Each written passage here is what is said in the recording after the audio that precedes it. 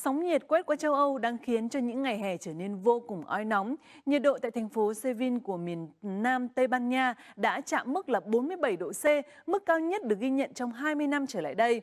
Truyền thông địa phương cho biết là nắng nóng như thiêu đốt cũng ờ, ở những ngày qua đã khiến cho ít nhất là 360 người tử vong tại Tây Ban Nha.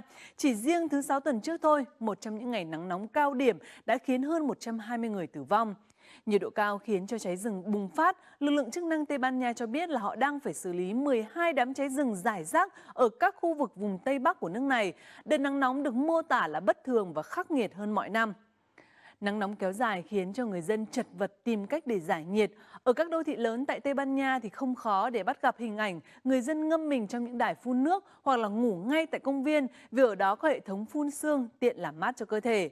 Trong khi đó ở thủ đô Madrid, bất chấp cái nóng thiêu đốt, hàng nghìn người đã đổ về khu phố trung tâm để tham gia một lễ hội đặc biệt giải nhiệt mùa hè. Lễ hội có tên là Trận Hải Chiến, dường như lại biến cả một khu phố rộng lớn thành một công viên nước ngoài trời khổng lồ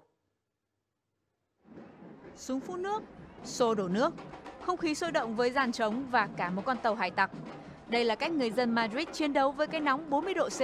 Lễ hội hải chiến là sự kiện thường niên, nơi người tham dự dùng súng phun nước hoặc xô chậu để té càng nhiều nước càng tốt vào người khác. Chúng tôi không được dự đại chiến phun nước hai năm vừa qua vì đại dịch. Tôi cùng gia đình đã chờ đợi và trang trí ban công nhà mình cho sự kiện năm nay. Cái nóng thật khủng khiếp. Vì vậy, sự kiện như thế này thật tuyệt vời. Tôi chưa bao giờ thấy và được tham dự lễ hội nào giống như thế này. Cảm thấy rất đã. Lễ hội chung với thời điểm người dân tổ chức sự kiện tôn vinh vị thánh bảo trợ cho các thủy thủ. Một số ý kiến khác cho rằng lễ hội trở nên phổ biến từ năm 1982 khi một nhóm thanh niên mở các trụ nước cứu hỏa để làm mát khu phố ngày hè. Nhưng cho dù là gì, những ngày nắng nóng gai gắt này, cuộc thủy chiến cũng giúp người dân địa phương được giải nhiệt và có tâm trạng vui vẻ.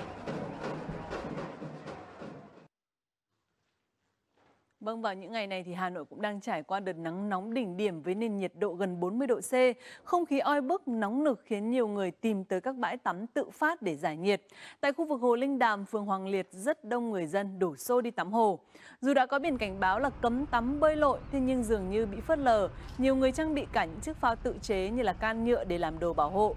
Đáng nói là tại khu vực lòng hồ, rác thải sinh hoạt vứt ngổn ngang, nhưng nhiều người chẳng bận tâm nguồn nước sạch hay bẩn.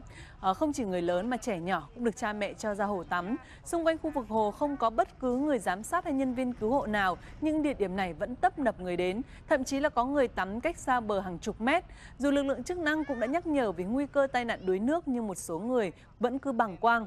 À, nhu cầu giải nhiệt là cần thiết, thế nhưng cần chọn địa điểm an toàn và trang bị phương tiện bảo hộ đầy đủ, bởi khi tắm tại những khu vực cảnh báo thì chẳng khác nào tự đánh cược mạng sống của chính mình.